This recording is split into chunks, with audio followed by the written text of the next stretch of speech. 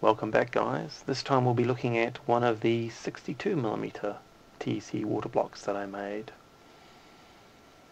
Now this was also milled from a 10mm block of copper, also using a 3mm end mill. Now you'll have noticed one of the most defining features of this block is the water channel design. Now not only does the water flow down the channels, obviously, but I have cut these little half circles into it. Now the reason for the half circles is that if they weren't there, there would be less surface area than if they were there because the surface area is greater for the circle than not. So I've increased the surface area and also it's very important from a turbulence point of view. As the water runs along the channels, it will run past one of these little cutouts. Now the water will go into like a little whirlpool which will help to cool more effectively. It's not only down the channels, it's also cut slightly lower into the bottoms. Uh, the same effect happens when the water's running along the bottom of the block. Another very effective design feature of this block was hot and cold plate bolt insulators. Now one of the problems people will face is that the bolts applying the hot and the cold plates together are obviously made out of steel. You can try and do it with the acrylic ones, but it didn't work for me. Now because these bolts are made out of steel, they will conduct heat between the hot and the cold plates, and that is a reduction in efficiency.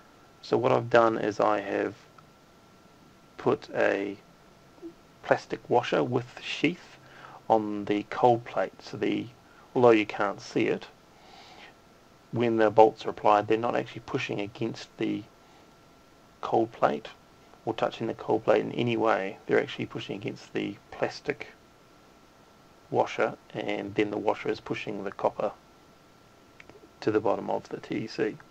So therefore is insulating it. One of the other things I really liked about this water block is I managed to use the acrylic bolts. Uh, it was very close to the limit of how much stress they could take. So there's quite a few of them that I broke and had to toss away. But it looked really nice. Uh, this has my three barb system. So there's cold in the middle and hot out the corners.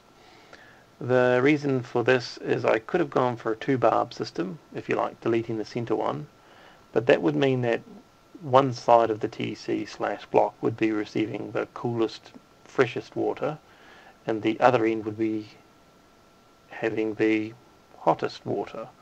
And that would result in a temperature gradient across the block. Now having a temperature gradient across the TEC is a particularly bad thing you need to cool that TEC equally well.